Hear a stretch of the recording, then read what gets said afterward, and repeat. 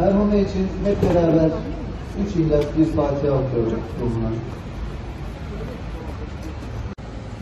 Allah'tan baş sağlığı diliyorum. Sevenlerine sabır diliyorum. Yani hakikaten Merhumeye olan haklarınızı helal eder misiniz? Helal eder misiniz? Helal eder misiniz? Müslüman olarak yaşat. Bizi ve neslimizden gelenleri Kur'an'a bağlı olanlardan eyle Allah'ım.